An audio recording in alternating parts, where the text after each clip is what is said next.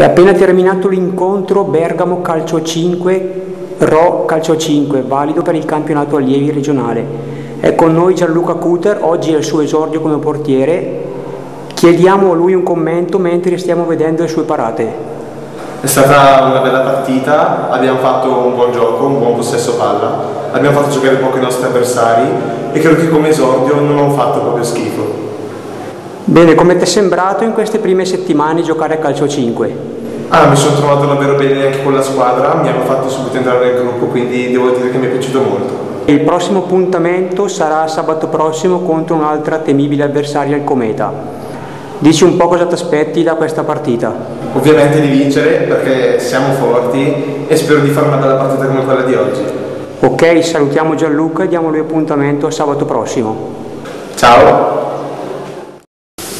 Passiamo ora la parola a un giocatore del Rock Calcio 5, Matteo Marazzini. Anche a lui chiediamo un commento sulla partita. È stata una partita difficile eh, perché a parte non avevamo portieri, gli avversari erano molto forti Abbiamo avuto anche difficoltà a gestire il pallone sul parquet perché scivolava molto.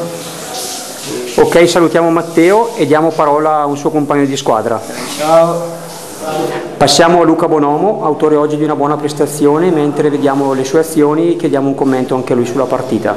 È stata una partita molto faticosa, e, um, hanno avuto, sono stati molto bravi i ragazzi del Bergamo, perché anche noi di testa non c'eravamo molto, e abbiamo anche il problema del portiere che non siamo ancora riusciti a trovarlo, quindi giochiamo a giro, con, eh, sempre a giro con un giocatore.